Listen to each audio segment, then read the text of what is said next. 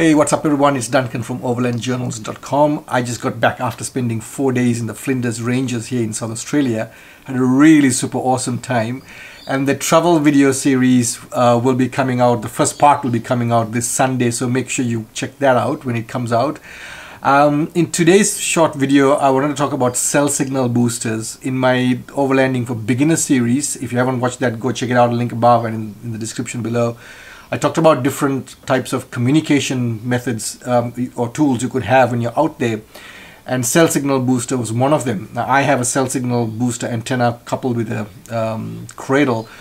And that became quite useful when we are in the Flinders um, because my wife has a sick mom she has to keep in touch with. And that helped to get signal even when nobody else had signal. So I thought I'll do a video and show how it really works out there in the field. So here it is, go check it out.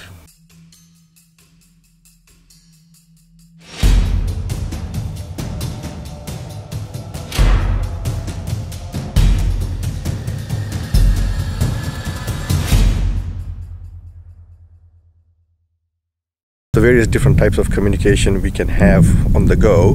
One, one specific one I talked of was cell phone signal boosters. Now, I know, you know, you'll all say, but you know, when you're out there overlanding or out in the outback, why in the world do you need to carry a cell phone? And that's quite true. I agree with you completely. I hate having cell phones around. That's I'm trying to get away from it when I go out back. But the thing is, you sometimes need to have communication. Like in our case, right now we are in the Flinders Ranges, and we need to have communication going, especially for my wife because um, she's got a sick mom, and she would like to try and keep in touch every now and then um, because they are, they live alone. So that's quite important. So one of the things I had done was have a cell phone booster and this antenna here the shorter one is a cell phone booster. It's connected to a cell phone cradle where we put the um, cell phone into the cradle and then kind of boosts the signal.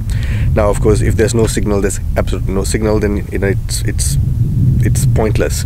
However what happens is with the cell phone booster up until about I, I, in my experience about 10 kilometers after you have lost the signal without the aid of a booster um, once you put it into the cradle, I still get signal. Now I'll show you what I'm talking about. So this is my wife's cell phone, and um, as you can see, there's there's no signal. It says SOS, only no service.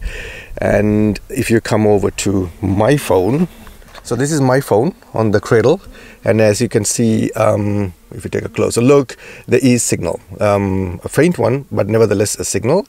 And my wife was able to make a phone call to her mom yesterday and just make sure she was all right.